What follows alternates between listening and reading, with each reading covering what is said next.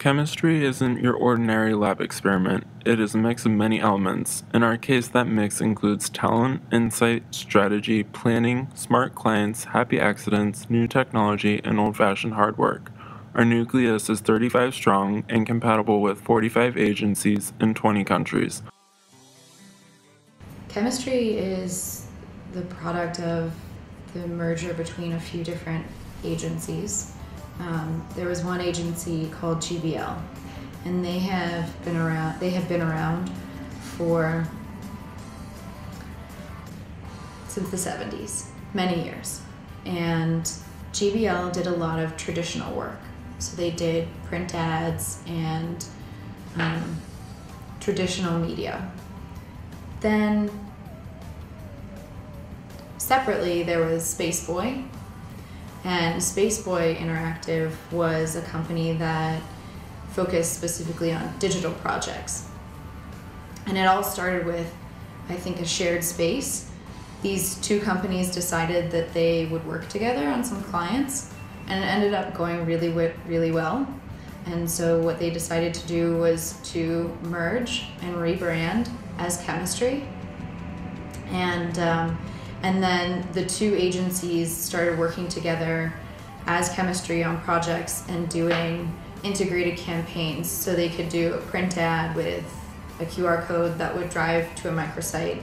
And um, you know they they had like a full service shop um, then about a year and a half ago chemistry acquired another company called chrome and Chrome had other capabilities, like they had some B2B clients and they also had a PR department.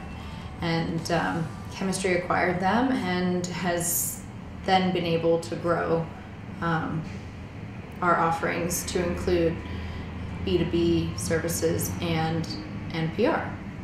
So Chemistry has been around as the rebranded entity since um, 2000 10, I believe, 2009. Um, so about three or four years. And um, we're, you know, a completely integrated shop, so we can do a campaign from start to finish. Like I said, that includes traditional media in magazines and newspapers, online, um, you know, a microsite, a landing page, a full website, banner ads, Facebook, social media, um, and and PR, so publicizing everything that's going on as well.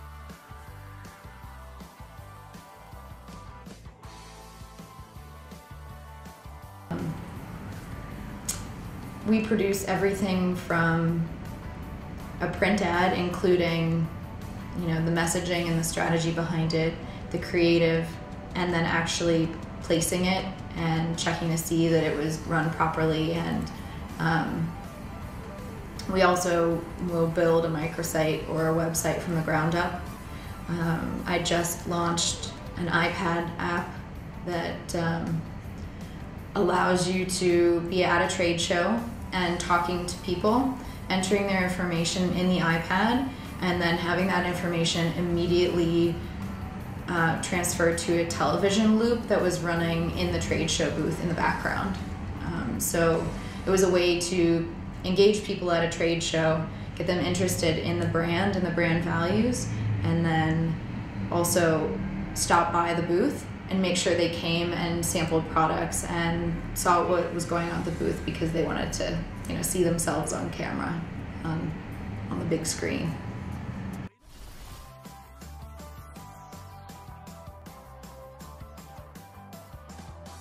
Digital media, you probably have to start the process like you do with traditional media.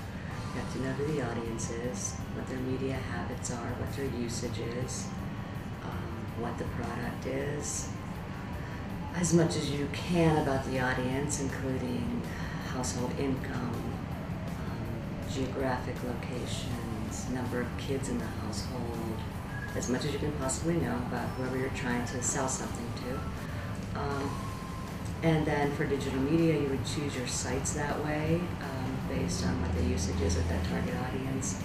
And generally, um, we would look at retargeted search or keyword optimization for consumer goods and then for business to business clients. It's usually e-newsletters um, and digital versions of their trade magazines. So that's basically digital media. So I'm Jeremy Hedges. I'm an interaction designer here at Chemistry. Uh, what I do is I work throughout the entirety of projects, sort of from the beginning to the end, and I have sort of touch points throughout the projects. Um, the way that we do things here, we have sort of a 6D uh, approach to digital projects. So we have uh, start off with discovery, go into define, design, develop. What's the next one? Um, deploy, and then drive. So those are sort of the six parts of our digital process. Um, I come in at the very beginning, sort of from a strategic perspective in the discovery phase. Um, what we do is we try to learn as much as possible from the clients. Uh, we call them stakeholders. So there's individuals at a particular client um, who know different things, different parts of their business, and so we talk to them. We have them sort of tell us the general overview of what they're doing what their business objectives are, who their audience are, who their perceived audience is. Um, and we take that information and we start doing research about uh, the project that we're going to be doing. So we um, go out and look at competitors, we'll look at Google Analytics for their current site if they have one. Um, if they don't, uh, we'll try to look at Google Analytics um, for other websites if we can. You know, if it's a specific project for a larger client, maybe we'll look at um, from their homepage what kind of audience they already have built in, things like that. We do user research, so we go out and talk to people um, and understand their needs and goals. And so what we do within the discovery phase is sort of take all that information and synthesize that, and we move into the define phase, which is uh, building sort of, in a digital project anyway, a site map or a, site structure, and that's called information architecture. So uh, understanding how the navigation is going to work, what the levels of navigation are, what we call those, and how people understand how things are structured. So we take that and test that with people and make sure that uh, they understand the way that we're labeling things and they can understand, you know, if I click here, this is where I'm going to find these other parts of the website. Um, from there, we build uh, wireframes or prototypes. So um, it's more of a blueprint uh, looking artifact. Um, so similar to what an architect would build, they don't really decide on the colors, um, the textures of the house, but they do build the infrastructure of it. So they make sure that all the parts that are in the bathroom are in the bathroom and not in the kitchen. So that's kind of what we do. Um, so we build what are wireframes, and those are they look like a website without any real colors or details. Um, well, they are detailed, but they don't have sort of visual details uh, included. So what that allows us to do is to start to take that and take it back to the client and have them say, you know, oh, well, we missed these things, or, you know, we're not quite sure how we feel about this stuff. And then we can also put those in front of users and have them test it. So it's called paper prototyping. Uh, you can take a printout of a wireframe and show it to people and see if they understand the concepts that you're trying to get across. So between that and looking at the sitemap, um, we hopefully, before we start doing the visual design, which is the next part of our uh, 6D process, we actually get some feedback from real people and make sure that we kind of understand where we should be before we go through the creative process, which takes a lot longer. So from there, uh, we go into development, and those artifacts that I build actually help the developer a lot because they can kind of see the way that the structure of the site's supposed to be built, so they can build sort of database structures and things like that, understanding functionality that they're going to have to build in um, from an interaction standpoint. We try to bring all those interactive elements of a website or a web project um, to the forefront in the wireframe so that while the designer's doing the visual part, the developers can start to think about how the actual technical aspects of the site are going to be structured. So after that, we do deploy, um, and throughout the process, uh, I also do quality assurance and testing.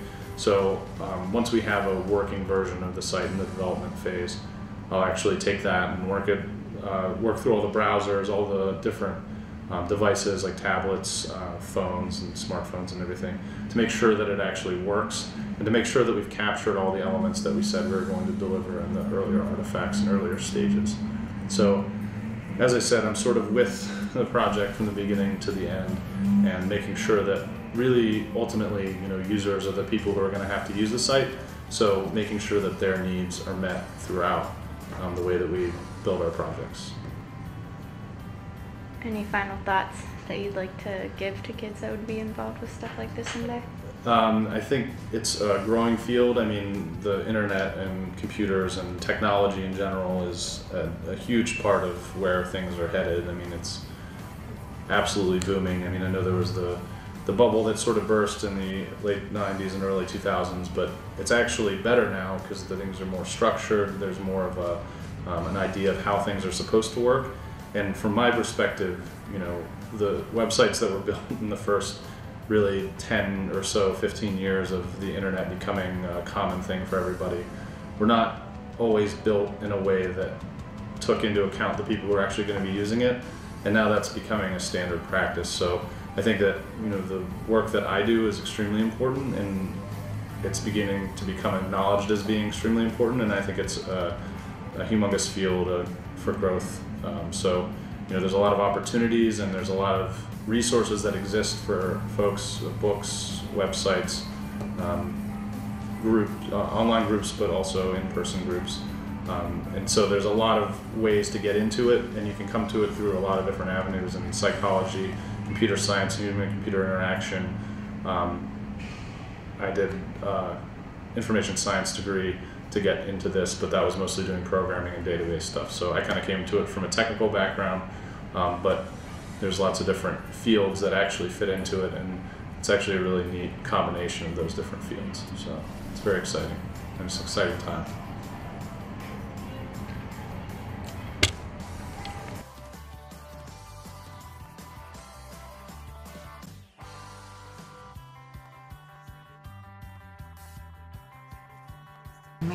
Chloe Arthurs, and I'm an account executive at Chemistry. Uh, I've been here for two years, and I am a liaison between the clients and everyone internally at Chemistry. So I work with clients to devise a strategy, um, manage projects, work with them to get the assets for the projects, and then um, I take all that information and I present it to either a designer, a developer, an information architect, and um, see that we meet all of our deadlines and budgets. So basically,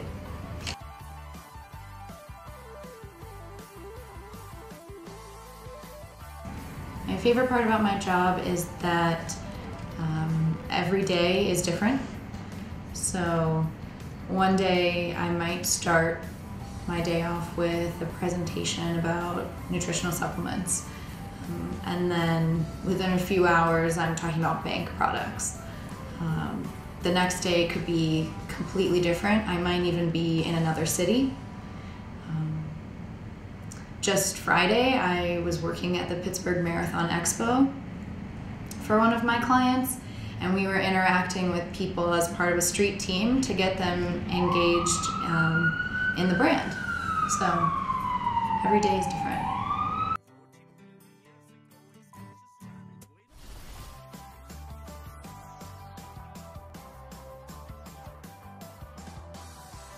Okay, my name is Kevin Emmerheiser. They call me K2 here at Chemistry Interactive.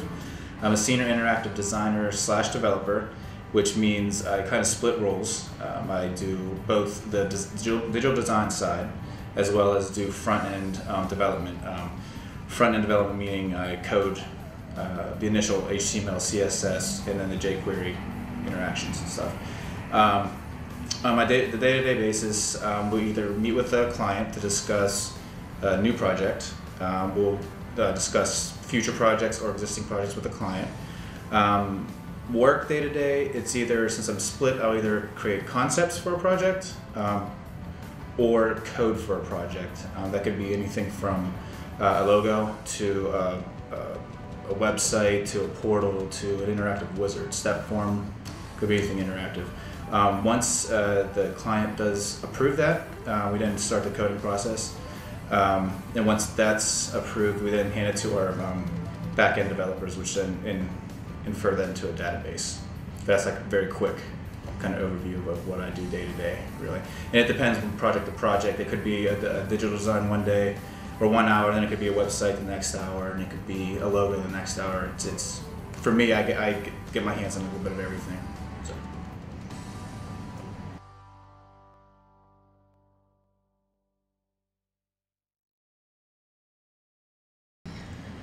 What makes us different? Um, I read somewhere that companies have products and agencies in the same vein have cultures. And that's what an agency can can really sell to someone looking to work there or even a client.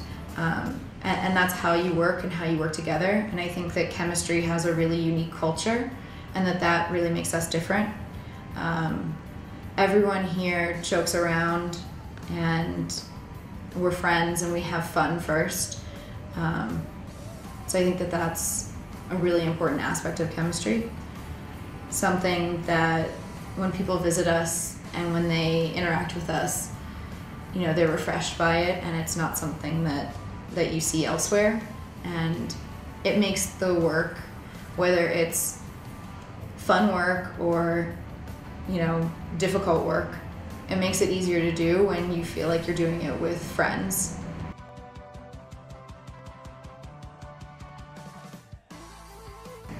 working with clients can be stressful. Um, you know, it's there's a delicate balance between, um, you know, the time, the budget, and you know the end result. People joke that you can either have it good, fast, or cheap, and you can't have all three. So managing a client's expectations can be difficult because obviously you want to do something that's amazing and you want to do it really fast and you want to do it really well, but at some point you have to prioritize those things um, and help helping to guide them to see that that prioritization needs to happen can be difficult sometimes. Um,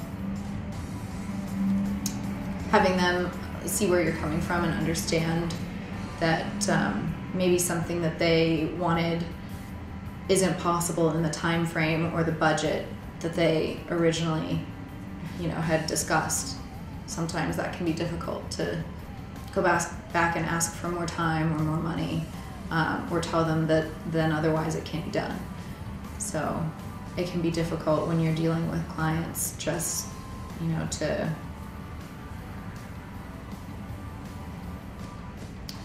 help make them understand um, like what that you are trying to do right by them. Um, but there's always a trade-off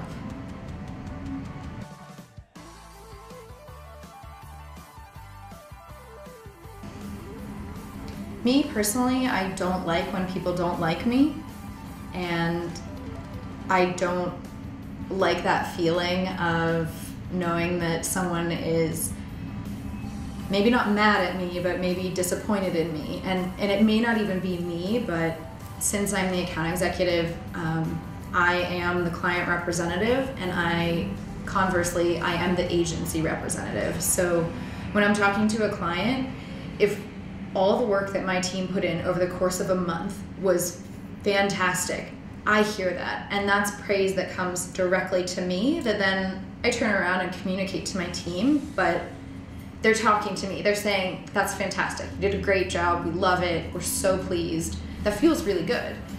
But on the flip side, it doesn't feel very good when someone is sick and so they they miss a deadline by a day and that impacts someone else. And then you know just waterfall effect and maybe something bad happens, you're the first person that they are talking to and they're telling the problem to. And you know it doesn't feel good when you know you're saying the client is telling you that things didn't go so well.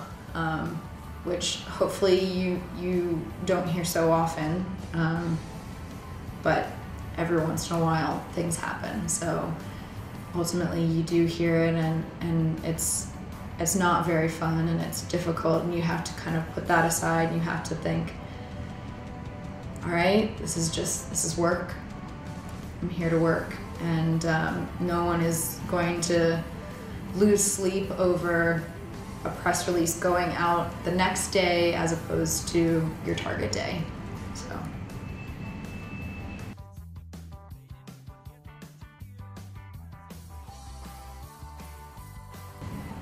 Where does chemistry sit in terms of our size? I would say we're a small to mid size agency.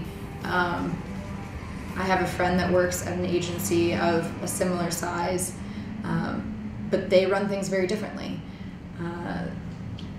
They run things almost more like a larger agency with, um, you know, maybe more bureaucracy, you find. At a smaller agency, we're able to be really flexible, um, really, you know, almost informal with our process, which really, really can help a project. So, from that perspective, it's it's good, and you know, I know everybody that I work with. I know their kids, their husbands and wives, and everything about them, and so helping to build that, you know, kind of family feeling, that friendship between everybody, since we're all so different. We all have such different backgrounds um, and very different interests. Working really, really closely on projects, you know, adds to that.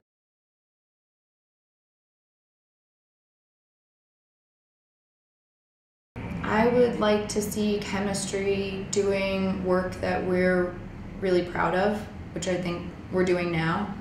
Um, really interesting, creative, and um, strategic, research based. We're currently doing all of this. It's just, I want to continue doing it. Because I think that when things are based in research and you know people are excited about the client and the creative um, it's more fun. And you know not everything is about awards but it is nice to also be recognized for uh, the work that you do. And so we just recently in march we won an award for our own website that we designed and i'd like to see that continuing. Chemistry works on a single atom, and that is something we don't forget.